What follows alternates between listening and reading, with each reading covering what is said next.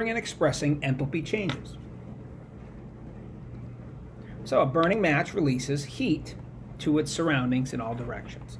How much heat does, does this re exothermic reaction release? You will learn to measure heat flow in chemical and physical processes by applying the concept of specific heat. So calorimetry, the precise measurement of the heat flow into or out of a system for a chemical and physical processes. In calorimetry, the heat released by the system is equal to the heat absorbed by its surroundings. Conversely, the heat absorbed by a system is equal to the heat released by its surroundings. So, the heat of the system is equal to the change in the enthalpy which is equal to the negative heat of the surroundings, which is equal to the negative mc delta T. I know that's a lot to take in. We'll do an example to clarify that.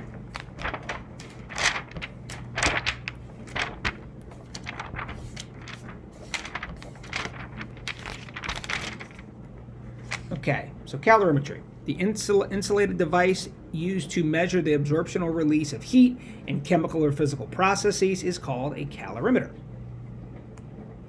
So, the constant pressure calorimeter.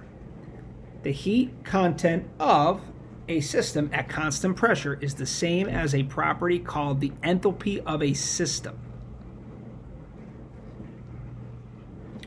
So, right, enthalpy, abbreviated by the capital letter H,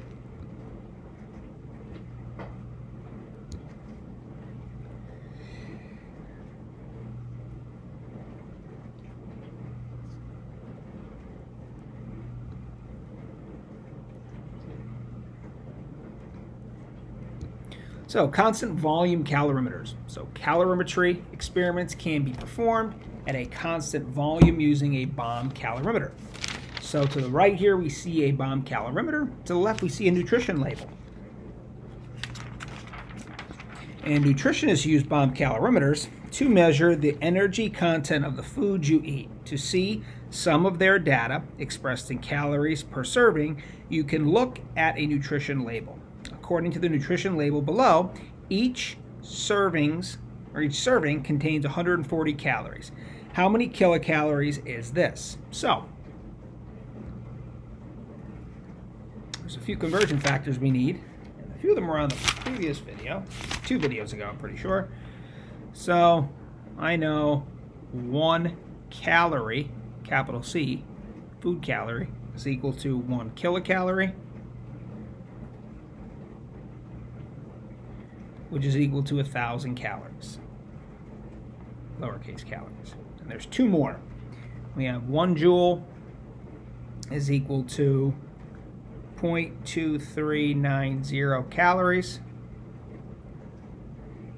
and 4.184 joules is equal to one lowercase calorie.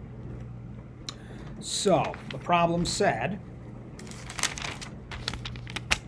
We're going to start with 1,400 uh, food calories.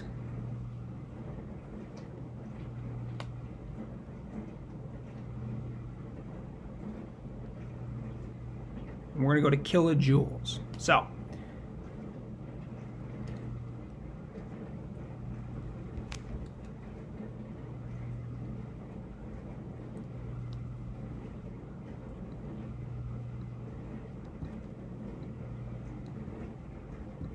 Okay, so now, kilocal we're in calories, and I'll do I'll take a long approach here.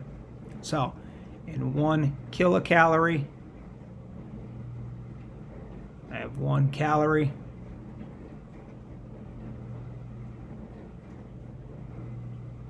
And I know I have a thousand lowercase calories in one kilocalorie.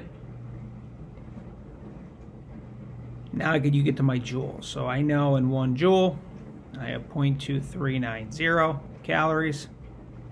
And I want to go to kilojoules, so I know in one kilojoule, I have a thousand joules.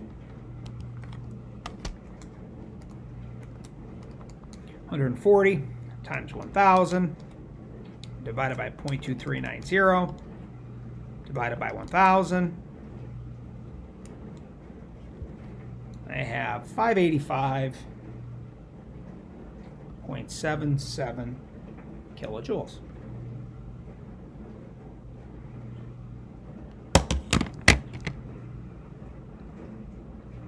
So now, I have an example here, enthalpy change in a calorimetry experiment. So when 25 milliliters of water containing 0.025 moles of HCl at 25 degrees is added to 200 or 25 milliliters of water containing 0.025 moles of NaOH at 25 degrees Celsius in a foam cup calorimeter, a reaction occurs. Calculate the enthalpy change in kilojoules during this reaction if the highest temperature observed is 32 degrees Celsius. Assume the densities of the solutions are 1 gram per milliliter. All right, so a lot of information there. We'll break this down and we'll make it make sense. So, we know our specific heat of our water, 4.18. Our, our final volume, since we have 25 from HCl, and 25 from NaOH, we're going to have 50 milliliters. We have an initial temperature of, we had here, 25 degrees Celsius, and our final is 32. So our change in temperature is 7 degrees Celsius. And our density of solution is 1 gram per milliliter. All right, so now, first thing I need to do, I need to find my mass. And since they give me this density, I'm going to use it. So I have 50 milliliters. So 1 gram over 1 milliliter, and it gives me 50 grams. So now my formula, delta H is equal to negative MC delta T. Delta H equals negative 50 put this in parentheses, times 4.18 times 7.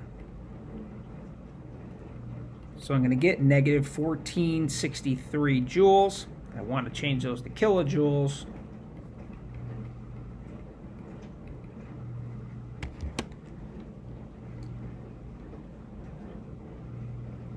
And I'll get 1.46 kilojoules.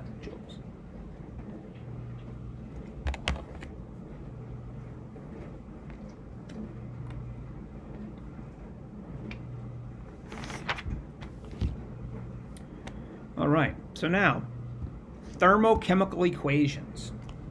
So in a chemical equation, the enthalpy change for a reaction can be written as either a reactant or a product. So a chemical equation that includes the enthalpy change is called a thermochemical equation. And the heat of reaction is the enthalpy change for the chemical equation exactly as it is written. So we see here this exothermic reaction of calcium oxide and water. We know it's exothermic because we have a negative sign, negative delta H, and this can be considered a product, that delta H value.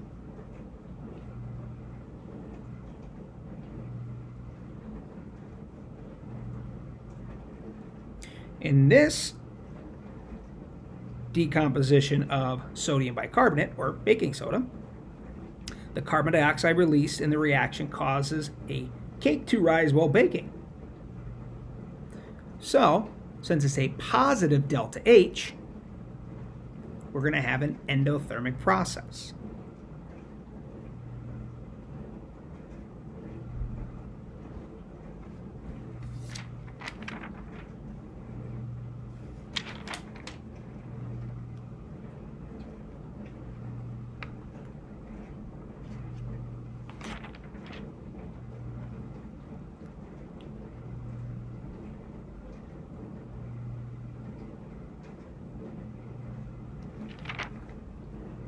Okay, so just one more time. We see our exothermic process. We're going to have a negative delta H endothermic process will have a positive delta H.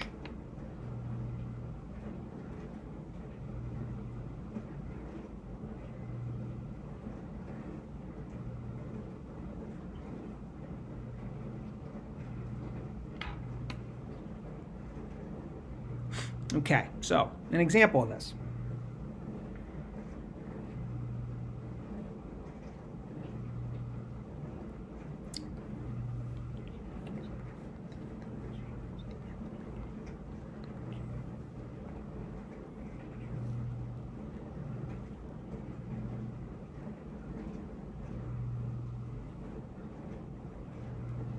All right, so using the thermochemical equation in figure 17.7b on page 515, which you don't have to worry about that, I'm going to give you that. We're going to calculate the amount of heat in kilojoules required to decompose 2.24 moles of NaHCO3. All right, so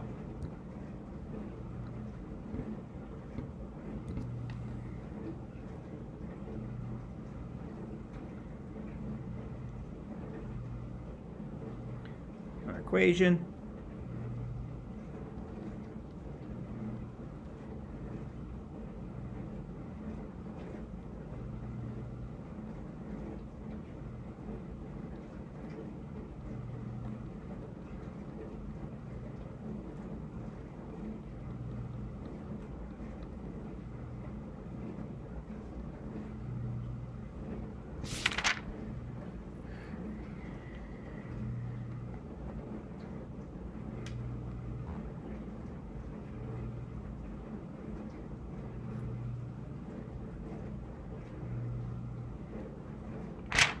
All right, so we want to calculate the heat here of kilojoules of NaHCO3. And we're given 2.24 moles of it. So we have 2.24 moles of NaHCO3. So we know our heat, 129 kilojoules now we need to look at our NaHCO3. And it's typically going to be over 1 mole if our coefficient's 1. But since we have a 2 in front, it's going to be over 2 moles of NaHCO3. Now, with these types of problems, you might be given your starting value in grams. You might have to go from grams to moles, and then you could use your heat. So 2.2.24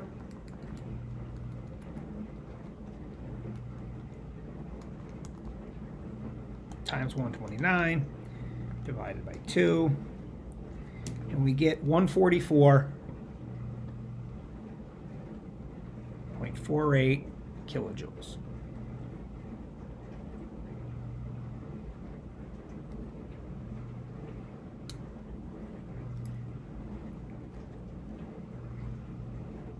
All right, so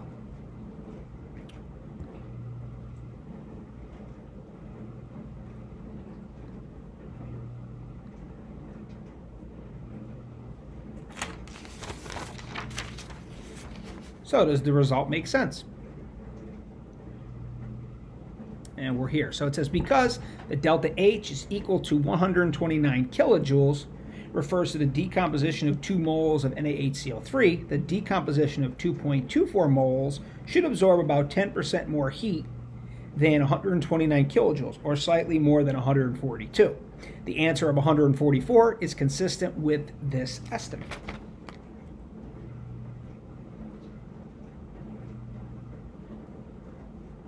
So here are some values, 17, table 17.2, where it just talks about heat of combustion. Right, and we know our combustion reactions from our types of chemical reaction unit. So the heat of combustion is the heat of reaction for the complete burning of a one mole of substance. So if we look in this, this picture here, the combustion of natural gas is an exothermic reaction. As bonds in methane, the main component of natural gas, and oxygen are broken and bonds in carbon dioxide and water are formed, large amounts of energy are released. And this concludes our video on measuring and expressing enthalpy change.